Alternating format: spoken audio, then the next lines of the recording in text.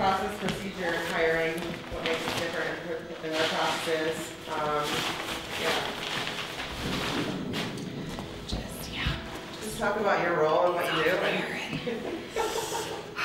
totally. So we have taken the whole corporate structure and just flipped it upside down its head because our managers don't manage from an ivory tower. They manage alongside the people. And our owners are the same thing. Our owners are originating loans next to other loan officers.